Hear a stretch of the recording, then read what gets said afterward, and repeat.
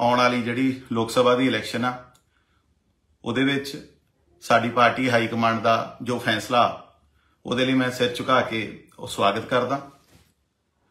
ਤੇ ਮੈਂ ਖਹਿਰਾ ਸਾਹਿਬ ਦਾ ਵੀ ਸਵਾਗਤ ਕਰਦਾ ਕਿ ਤੁਸੀਂ ਸੰਗਰੂਰ ਜਿਹੜੀ ਲੋਕ ਸਭਾ ਦੇ ਉਮੀਦਵਾਰ ਬਣੇ ਹੋ। ਬਹੁਤ ਬਹੁਤ ਮੁਬਾਰਕਬਾਦ। ਤੇ ਇਹਦੇ ਨਾਲ ਕੱਲ ਮੈਂ ਲਿਖ ਕੇ ਪਾਇਆ ਸੀਗਾ ਕਿ ਆਪਾਂ ਕੱਲ ਨੂੰ ਇਕੱਠੇ ਹੋਵਾਂਗੇ ਤੇ ਲਾਈਵ ਰਾਹੀਂ ਆਪਾਂ ਜੁੜਾਂਗੇ। ਸੋ ਇੱਕ ਜਿਹੜੀ ਪਿਛਲੇ ਦਿਨਾਂ ਦੇ ਵਿੱਚ ਤੁਹਾਨੂੰ ਪਤਾ ਕਿ ਬੜਾ ਕੁਝ ਹੋਇਆ।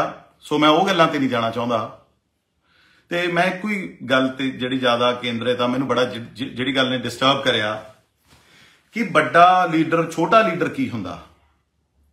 ਕੀ ਇਹ ਵੱਡਾ ਲੀਡਰ ਪੈਸੇ ਨਾਲ ਇਹਦਾ ਮਾਪਦੰਡ ਹੁੰਦਾ ਵੀ ਅਮੀਰ ਜਾਂ ਗਰੀਬ ਲੀਡਰ ਹੁੰਦਾ? ਜਾਂ ਉਹ ਜਿਹੜਾ ਵਫਾਦਾਰ ਲੀਡਰ ਹੁੰਦਾ? ਇਹਦੀਆਂ ਮੈਂ ਤੁਹਾਨੂੰ ਇੱਕ ਦੋ ਉਦਾਹਰਨਾਂ ਦਿੰਨਾ। ਇਹ ਕੋਈ ਪਹਿਲੀ ਵਾਰ ਟਿਕਟ ਨਹੀਂ ਕੱਟੀ ਮੇਰੀ।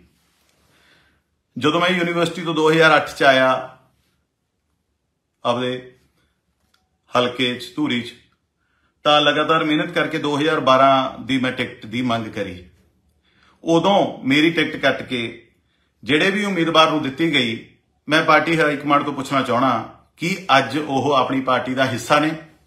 ਪਰ ਦਲਵੀਰ ਸਿੰਘ ਗੋਲਡੀ ਉੱਥੇ ਦਾ ਉੱਥੇ ਖੜਾ। ਉਸ ਤੋਂ ਬਾਅਦ ਬਾਈ ਇਲੈਕਸ਼ਨ ਆਈ 2014 ਦੀ। ਉਦੋਂ ਮੇਰੀ ਟਿਕਟ ਕੱਟੀ ਗਈ। ਕਿ ਉਹ ਉਮੀਦਵਾਰ ਉਦੋਂ ਜਿਹੜਾ ਤੁਸੀਂ ਨੇ ਬਣਾਇਆ ਸੀ, ਉਹ ਪਾਰਟੀ ਨਾਲ ਖੜਾ ਜਾਂ ਨਹੀਂ ਖੜਾ? ਪਰ ਦਲਵੀਰ ਸਿੰਘ ਉੱਥੇ ਦਾ ਉੱਥੇ ਖੜਾ। ਫਿਰ 2019 ਦੀ ਜਿਹੜੀ ਲੋਕ ਸਭਾ ਦੀ ਚੋਣ ਆਈ, ਜਿਹਦੇ ਚ ਮੇਰੀ ਵਾਈਫ ਸਿਮਰ ਤਿਆਰੀ ਕਰ ਰਹੀ ਸੀ, ਸਾਡੀ ਟਿਕਟ ਕੱਟੀ ਗਈ।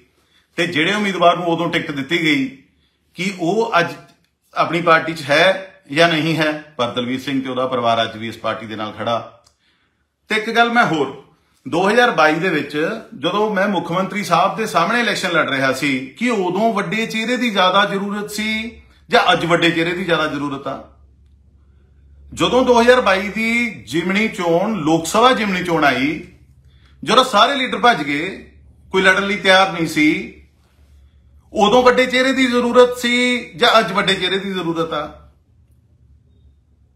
ਤੇ ਫਿਰ ਲਗਾਤਾਰ ਮੈਂ ਕੰਮ ਕਰਿਆ, ਮੇਰੇ ਨਾਲ ਪਾਰਟੀ ਨੇ ਕਮਿਟਮੈਂਟ ਕਰੀ ਕਿ ਤੁਹਾਨੂੰ ਇਹ ਜਿਮਨੀ ਚੋਂ ਲੜਾ ਰਹੇ ਹਾਂ ਤਾਂ ਕਿ ਆਉਣ ਵਾਲੀ 2024 ਦੀ ਲੋਕ ਸਭਾ ਇਲੈਕਸ਼ਨ ਵੀ ਤੁਸੀਂ ਲੜੋਗੇ। ਅਸੀਂ ਦਿਨ ਰਾਤ ਮਿਹਨਤ ਕਰਕੇ ਜਿਹੜਾ ਕੰਮ ਕਰਿਆ ਤੇ ਹੁਣ ਮੇਰੀ ਟਿਕਟ ਫੇਰ ਕੱਟਤੀ। ਕੋਈ ਗੱਲ ਨਹੀਂ, ਪਰ ਜੋ ਵੀ ਪਾਰਟੀ ਦਾ ਫੈਸਲਾ, ਮੈਂ ਉਹਦੇ ਅੱਗੇ ਆਪਦਾ ਸਿਰ ਝੁਕਾਉਣਾ। ਇਹਦੇ ਨਾਲ ਨਾਲ ਵੀ ਮੈਂ ਧੰਨਵਾਦ ਕਰਦਾ ਸਾਡੀਆਂ, ਕਿਉਂਕਿ ਅੱਜ ਕੱਲ ਜਿਹੜਾ ਦੌਰ ਚੱਲ ਰਿਹਾ ਇਸ ਸਮੇਂ ਵੀ ਕੋਈ ਇੱਧਰ ਆ ਰਿਹਾ, ਕੋਈ ਉੱਧਰ ਆ ਰਿਹਾ, ਆਪਦੇ ਪਰਸਨਲ ਲਾਲਚਾਂ ਕਰਕੇ, ਪਰ ਮੈਂ ਉਹ ਲਾਲਚੀ ਬੰਦਾ ਨਹੀਂ ਹੈਗਾ। ਮੇਰੇ ਕਿਰਦਾਰ 'ਚ ਨਹੀਂ, ਅਸੀਂ ਯੂਨੀਵਰਸਿਟੀ ਵਾਲੇ ਲੀਡਰਾਂ ਮੇਰੇ ਮਾਪਿਓ ਨੇ ਜੋ ਮੈਨੂੰ ਸਿਖਾਇਆ, ਮੈਂ ਉਹਨਾਂ ਦੇ ਉੱਤੇ ਚੱਲਣ ਵਾਲਾ, ਮੈਂ ਕੋਈ ਐ ਪਾਰਟੀ ਛੱਡਣ ਵਾਲਾ ਨਹੀਂ। ਕਿਉਂਕਿ ਅੱਜ ਦੇ ਸਮੇਂ 'ਚ ਹਰੇਕ ਬੰਦਾ ਸੋਚਦਾ ਵੀ ਅਸੀਂ ਇੱਧਰ ਨਹੀਂ ਮਿਲਦੀ ਤਾਂ ਇੱਧਰ ਚਲੇ ਜਾਓ। ਆਪ ਪਿੱਛੇ ਰੀਸੈਂਟਲੀ ਬਹੁਤ ਸਾਰੀਆਂ ਉਦਾਹਰਨਾਂ ਆਪਣੇ ਸਾਹਮਣੇ ਹੀ ਨੇ, ਠੀਕ ਹੈ ਨਾ? ਪਰ ਇਹਦੇ ਨਾਲ ਨਾਲ ਮੈਂ ਬਾਕੀ ਪਾਰਟੀਆਂ ਦੇ ਸਤਿਕਾਰਯੋਗ ਭਰਾਵਾਂ ਦਾ ਬਹੁਤ ਦਿਲੋਂ ਧੰਨਵਾਦ ਕਰਦਾ ਕਿ ਤੁਸੀਂ ਮੈਨੂੰ ਇੰਨਾ ਕਾਬਿਲ ਸਮਝਿਆ। ਤੁਸੀਂ ਸਾਰਿਆਂ ਨੇ ਕਿਹਾ ਕਿ ਸਾਡੀ ਪਾਰਟੀ ਦੇ ਵਿੱਚ ਤੇਰੀ ਲੋੜ ਆ, ਤੂੰ ਇੱਧਰ ਆ, ਪਰ ਮੈਂ ਆਪਦੇ ਵੀ ਮਾਫ ਕਰਿਓ।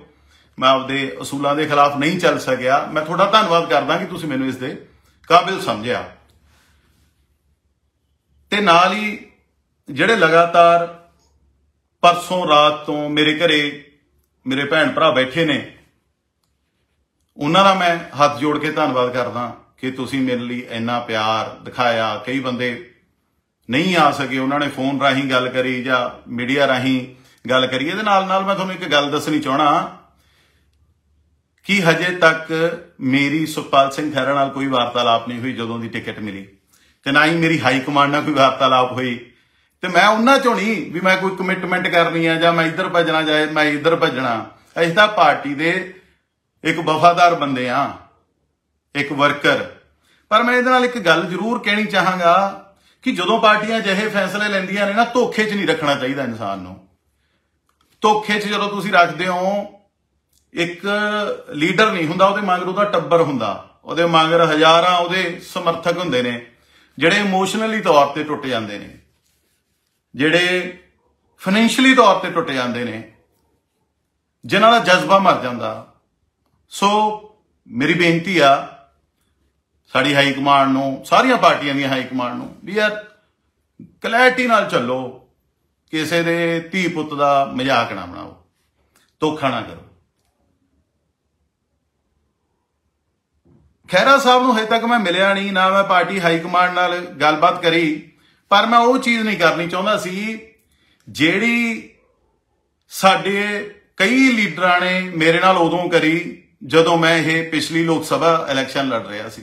ਕਿਉਂਕਿ ਮੈਨੂੰ ਪਤਾ, ਜਦੋਂ ਕੋਈ ਉਮੀਦਵਾਰ ਲੜਦਾ ਹੁੰਦਾ, ਤਾਂ ਉਹਨੂੰ ਜਿੰਨਾ ਮਰਜ਼ੀ ਝੁਕਾ ਲਓ ਸਿੱਧਾ ਕਰ ਲਓ, ਇਹ ਸਾਡੇ ਲੀਡਰਾਂ ਨੇ ਮਾੜੀਆਂ ਪਿਰਤਾਂ ਪਾਈਆਂ ਹੋਈਆਂ ਨੇ। ਸੋ ਖੈਰਾ ਸਾਹਿਬ, ਮੈਂ ਇੱਕ ਪਹਿਲਾਂ ਆਮ ਆਦਮੀ ਵਾਲਿਆਂ ਨੂੰ ਵੀ ਇੱਕ ਸਲਾਹ ਦਿੱਤੀ ਸੀ ਕਿ ਹਰੇਕ ਹਲਕੇ 10-15 ਬੰਦੇ ਹੁੰਦੇ ਨੇ, ਬਚਿਓ। ਸਾਡੇ ਜ਼ਿਲ੍ਹੇ 'ਚ ਵੀ ਦੋ ਚਾਰ ਅਜਿਹੇ ਬੰਦੇ ਨੇ ਜਿਨ੍ਹਾਂ ਤੋਂ ਬਚ ਜਿਓ। ਇਹ ਛੋਟੇ ਭਰਾ ਦੀ ਇੱਕ ਜਿਹੜੀ ਬੇਨਤੀ ਆ, ਇਹਨੂੰ ਤੁਸੀਂ ਸਵੀਕਾਰ ਕਰਿਓ। ਮੇਰੀ ਇਲੈਕਸ਼ਨ ਸਮੇਂ ਅਜਿਹੀਆਂ ਬਹੁਤ ਸਾਰੀਆਂ ਗੱਲਾਂ ਹੋਈਆਂ ਜਾਂ ਬਹੁਤ ਸਾਰੀਆਂ ਚੀਜ਼ਾਂ ਹੋਈਆਂ ਜਿਨ੍ਹਾਂ ਤੋਂ ਮੈਂ ਤੁਹਾਨੂੰ ਅਵੇਅਰ ਕਰਦਾ। ਮੇਰਾ ਕੈਰੀਅਰ ਹੀ ਸ਼ਾਇਦ ਮੇਰਾ ਸ਼ਾਇਦ ਵੱਡਾ ਲੀਡਰ ਉਹ ਹੁੰਦਾ ਜਿਹਦੇ ਬਾਪ ਦਾਦੇ ਮੰਤਰੀ ਹੋਣ ਜਾਂ ਤਾਂਜਾਮ ਉਹਨਾਂ ਦਾ ਵੱਡਾ ਹੋਵੇ। ਮੈਂ ਤਾਂ ਇੱਕ ਸਧਾਰਨ ਜੇ ਪਰਿਵਾਰ ਨਾਲ ਸੰਬੰਧਿਤ ਸੀ, ਸ਼ੁਰੂ ਤੋਂ ਸੰਘਰਸ਼ ਹੀ ਕਰੇ ਨੇ। ਲੜਾਈਆਂ ਹੀ ਲੜੀਆਂ ਨੇ। ਜੇ ਮੈਂ ਐਮਐਲਏ ਵੀ ਬਣਿਆ, ਤਾਂ ਉਹਦੇ 'ਚ ਵੀ ਮੈਂ ਲੋਕਾਂ ਲਈ ਟੋਲ ਪਲਾਜ਼ੇ ਲਈ ਨਿਰੰਤਰ ਲੜਦਾ ਰਿਹਾ। ਜਿਹਦੇ ਇਨਾਮ 'ਚ ਮੈਨੂੰ ਕਈ ਪਰਚੇ ਵੀ ਮਿਲੇ ਤੇ 2019 ਦੀ ਉਦੋਂ ਲੋਕ ਸਭਾ ਦੀ ਟਿਕਟ ਵੀ ਮੇਰੀ ਕੱਟੀ ਗਈ। ਇਮਾਨਦਾਰੀ ਨਾਲ ਕੰਮ ਕਰਨ ਦੀ ਵੀ ਇੱਕ ਸਜ਼ਾ ਮਿਲਦੀ ਆ।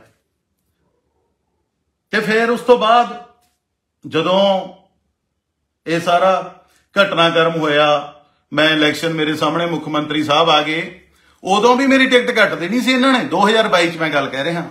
ਇਹ ਪੁਖਤਾ ਦੀ ਗੱਲ ਕਰ ਰਿਹਾ ਮੈਂ ਤੁਹਾਡੇ ਨਾਲ, ਕਿਉਂਕਿ ਜੇ ਉਰੇ ਮੁੱਖ ਮੰਤਰੀ ਸਾਹਿਬ ਨਾ ਆਉਂਦੇ, ਜਦੋਂ ਉਹਨਾਂ ਨੇ ਦੇਖਿਆ ਵੀ ਮੂਰੇ ਮੁੱਖ ਮੰਤਰੀ ਸਾਹਿਬ ਆ ਗਏ ਤੇ ਫੇਰ ਕੌਣ ਲੜੂ? ਫਿਰ ਤਾਂ ਗੋਲਡੀ ਲੜੂ। ਤੇ ਮੈਨੂੰ ਲੜਾਇਆ ਤੇ ਆਪਾਂ ਲੜੇ। ਜਿੰਨੇ ਜੋਗੇ ਹੈਗੇ ਸੀ, ਜਿੰਨੀ ਹਿੰਮਤ ਹੈਗੀ ਸੀ, ਜਿੰਨੀ ਝੋਲੀ 'ਚ ਦਾਣੇ ਸੀ, ਸਾਰਿਆਂ ਦਾ ਮੈਂ ਧੰਨਵਾਦ ਕਰਦਾ ਕਿ ਮੈਨੂੰ ਲੜਾਇਆ। ਪਰ ਮੈਂ ਇੱਕ ਗੱਲ ਦੱਸਣੀ ਚਾਹਣਾ ਕਿ ਮੈਂ ਲਗਾਤਾਰ ਪਹਿਲਾਂ 5 ਸਾਲ ਜਦੋਂ ਮੈਂ ਐਮਐਲਏ ਸੀ, ਉਦੋਂ ਵੀ ਕੋਈ ਸੁੱਖ ਦਾ ਸਾਹ ਨਹੀਂ ਆਇਆ। ਵੀ ਆਪਦੀ ਪਾਰਟੀ 'ਚ ਬਹੁਤ ਜਿਹੜਾ ਅਜਿਹੀਆਂ ਮੁਸ਼ਕਲਾਂ ਦਾ ਸਾਹਮਣਾ ਕਰਨਾ ਪਿਆ। ਉਸ ਤੋਂ ਬਾਅਦ ਵੀ ਜਦੋਂ ਇਹ ਪਾਰਟੀ ਆ ਗਈ, ਭਗਵੰਤ ਮਾਨ ਸਾਹਿਬ ਜੀ ਆ ਗਏ, ਇਹਨਾਂ ਨੇ ਵੀ ਪਿਛਲੇ ਲਗਾਤਾਰ ਕੋਈ ਕਸਰ ਨਹੀਂ ਛੱਡੀ, ਡੇਢ ਸਾਲ ਤੋਂ। ਐਂਡ ਜਦੋਂ ਆ ਲੋਕ ਸਭਾ ਦੀਆਂ ਟਿਕਟਾਂ ਦੀ ਵੰਡ ਹੋਣੀ ਸੀ ਨਾ, ਉਦੋਂ ਪਹਿਲਾਂ ਤੁਸੀਂ ਨੇ ਦੇਖਿਆ ਹੋਣਾ, ਹਰ ਰੋਜ਼ ਯਾਨੀ ਕਿ ਵਿਜੀਲੈਂਸ ਦਾ ਪ੍ਰੈਸ਼ਰ ਸੀ ਮੇਰੇ ਤੇ ਬਹੁਤ ਜ਼ਿਆਦਾ। ਪਰ ਉਹਨਾਂ ਦਾ ਕਸੂਰ ਵੀ ਨਹੀਂ ਮੈਂ ਮੰਨਦਾ। ਮੈਨੂੰ ਪੁਖਤਾ ਜਾਣਕਾਰੀ ਆ ਵੀ ਸਾਡੀ ਪਾਰਟੀ ਦਾ ਇੱਕ ਵੱਡਾ ਲੀਡਰ ਜਿਹੜਾ ਇਸ ਚੀਜ਼ ਦੇ ਵਿੱਚ ਮੈਨੂੰ ਤੰਗ ਪਰੇਸ਼ਾਨ ਕਰਨ ਦੇ ਵਿੱਚ ਇਨਵੋਲਵ ਆ। ਕਿਉਂ ਇਨਵੋਲਵ ਆ? ਕਿਉਂਕਿ ਆਮ ਘਰਾਂ ਦੇ ਮੁੰਡੇ, ਆਮ ਬੰਦੇ ਖੜ ਕੇ ਇਹਨਾਂ ਲਈ ਚੈਲੰਜ ਬਣ ਗਏ।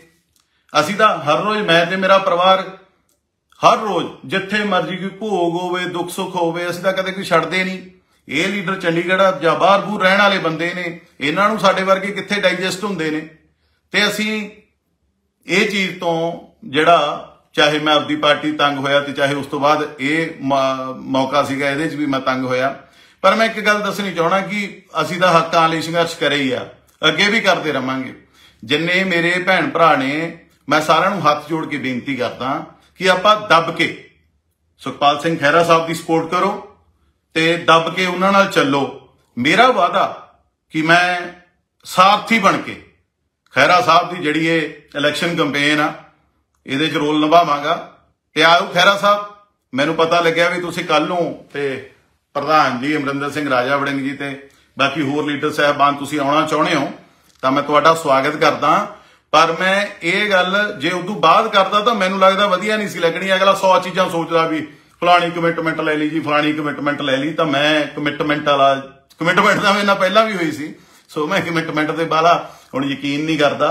ਸੋ ਮੇਰੀ ਮੈਂ ਖੁੱਲੀਆਂ ਬਾਹਾਂ ਨਾਲ ਤੁਹਾਡਾ ਸਵਾਗਤ ਕਰਦਾ ਤੇ ਉਮੀਦ ਕਰਦਾ ਕਿ ਤੁਸੀਂ ਇਹ ਜਿਹੜੀ ਲੜਾਈ ਆ, ਇਹਦੇ ਚ ਫਤਿਹ ਹਾਸਲ ਕਰੋ।